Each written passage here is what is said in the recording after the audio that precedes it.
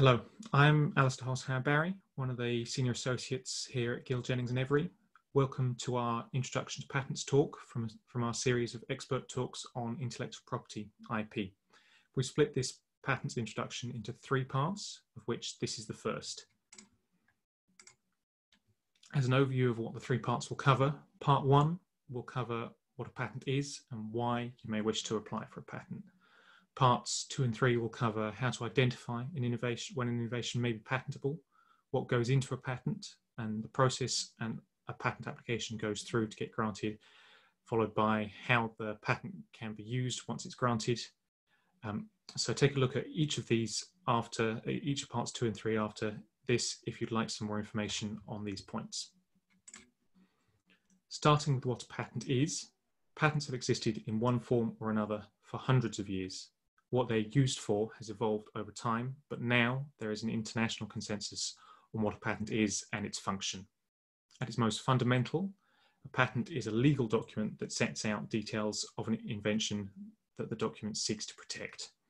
A patent is also a piece of property that is owned and can be bought, sold, mortgaged, and put to a number of uses. A patent protects the innovation it defines by giving the owner a monopoly over that invention. What that means in reality is that the owner of the patent is able to stop others from using the invention defined in the patent. This makes a patent a negative right. Importantly, a patent is not a positive right. A patent does not give the owner the ability to use the invention.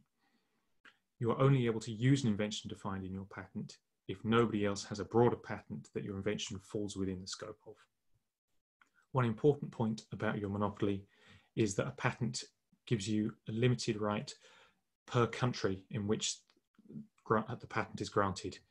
Patents are highly jurisdictional in nature, so your monopoly right will only cover the countries in which you have a granted patent for that invention and not in other countries. The length of time your patent lasts is usually 20 years from the date of filing. There are some countries that this can be adjusted, a notable example of, of which is the US, where the patent term can be lengthened if there are delays caused by the US Patent Office during the application process. The number of countries that offer this sort of patent term extension are quite rare, however. Looking at why to apply for a patent, there are many reasons to apply for one. Uh, there is typically little value in seeking to get a patent granted just for the sake of owning a patent. Uh, it's always important to weigh up the costs of obtaining a patent against the value and benefit that a patent can bring. However, a lot of people don't know necessarily all the values, and knowing some of them will help this. And there are generally more benefits than people are aware of. People can group these benefits into a number of areas. Um, I have broken them down on this slide into benefits being traditional areas, corporate, and indirect. The more traditional areas are to use a patent, to use a patent or group of patents are to stop competitors and to build a revenue stream. When stopping competitors, this can be to block a competitor from acting by establishing your negative right, your monopoly over an invention and enforcing it against other people by means of litigation or by writing to them and seeking to stop them using an invention that might fall inside a patent. An additional benefit of a patent is that it can be used to block others from getting a patent uh, by publication of the patent application or patent. Other publications also do this, but a patent publication typically carries more weight with a patent office examiner, which simplifies matters when you're trying to stop a competitor from getting a patent. In terms of a revenue stream, patents can be licensed to other parties for royalty payments. This can bring money into a company and supplement the money already being made by the company from marketing the invention themselves, or can allow another company to conduct that marketing and selling of the invention whilst the owner of the patent can sit and gain the revenue from royalties of those sales. The corporate benefits can come from a single key patent to an industry or from a number of patents in a particular area. These can be used to trade with competitors for access to competitor IP to area and areas that that is blocking, for example.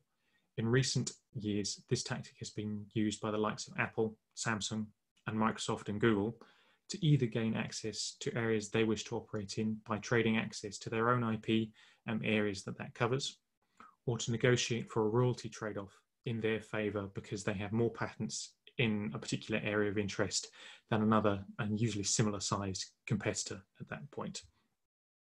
The indirect benefits are ones where patents and other IP can provide value to a business more widely than just within the IP sphere.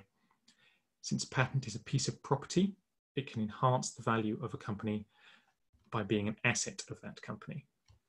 Patent also establishes something unique about a company that allows them to stop others acting in an area which itself has some value. If a company is looking for investment, then having a patent or a patent application pending shows the competitor is innovative and looking to protect their turf.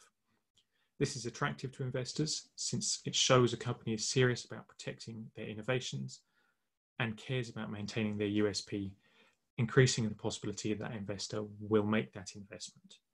Patents and other IP also give inv investors something they can offset their risk against. They're taking a risk with giving money to a company making investment, and since the IP has value, that creates a counterbalance to that risk.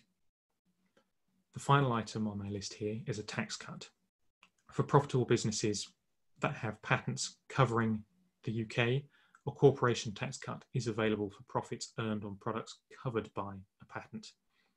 Since the cut, uh, tax cut um, reduces the outgoings of a company, the benefits I hope to this are clear.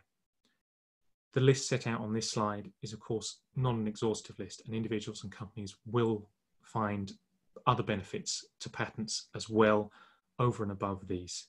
So these are just some examples and you can look for your own benefits from patents in various aspects that they touch on.